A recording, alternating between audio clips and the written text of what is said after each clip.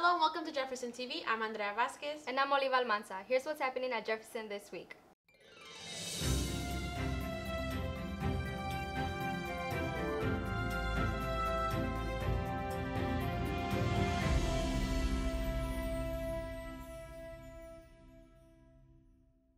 Jefferson students Nora Ershade and Anthony Lira were recognized by CNCI after being nominated for their outstanding achievements. They received gift cards and were highlighted at the RPS 205 board meeting. The Jefferson Speech Team is holding a coffee fundraiser to raise money for their traveling to their competitions. You can find a link in the description to order yours now.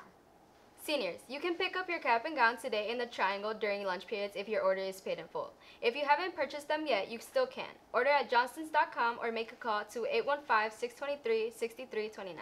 Mark your calendars for the spring musical next weekend, April 21st to the 23rd. SpongeBob the Musical will play Friday and Saturday night at 7.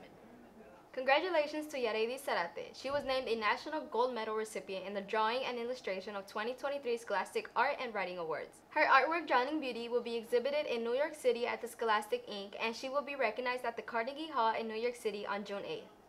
Here is our sports news.